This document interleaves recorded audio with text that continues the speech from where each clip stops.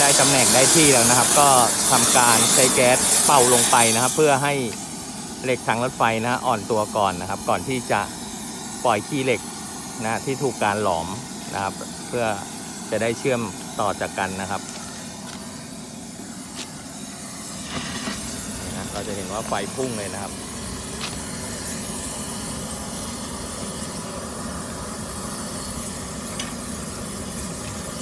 เมื่อเหล็กทางรถไฟร้อนได้ที่นะครับ ด้านบนก็จะทำการ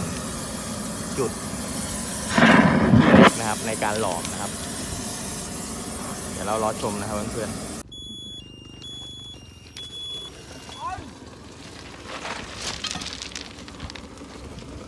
นี่นะครับเมื่อเป่าทางรถไฟจนร้อนได้ที่แล้วนะครับ ก็ทำการหลอมนะครับ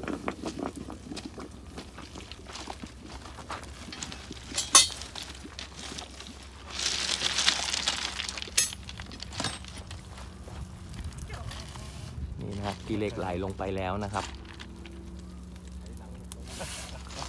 โอ้ยสุดยอดมากๆ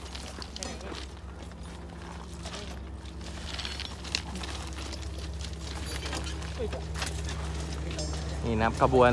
255 นะครับ วันนี้ทำขบวนโดยอานซอม 4221 นะครับ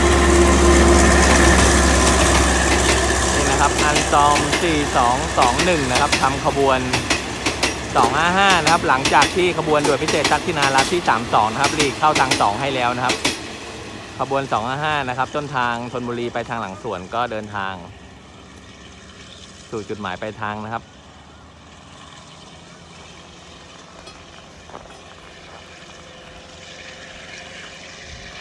นี่นะครับผ่านไปแล้วนะครับ บริเวณย่านชุมทางหนองปลาดุกนะครับ ก็ฝากเพื่อนๆนะครับ กดไลค์ กดแชร์ กดติดตามกันด้วยนะครับ ถ้าชอบคลิปก็อย่าลืม subscribe สั่นกระดิ่งกันด้วยนะครับ จะได้ไม่พลาดคลิปใหม่ๆ หนองปลาดุก channel ครับ